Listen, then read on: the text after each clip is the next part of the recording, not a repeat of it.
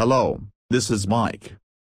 Today I will show you how to cut and stretch time at your video with Sony Vegas.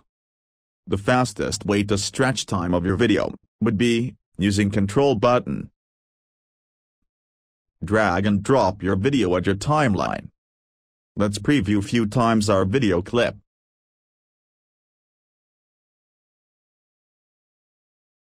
Okay, let's find a point on timeline, where we would start slowing down our video. Let's say this will be the start point. Now press the S button to split your main video clip.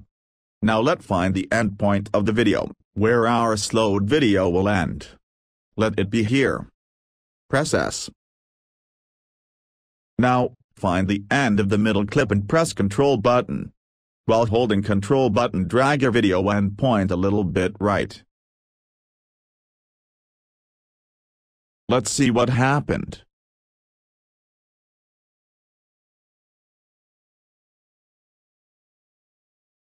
Not bad. With this tool we can make great video effect, for example speeding sport or fight scenes.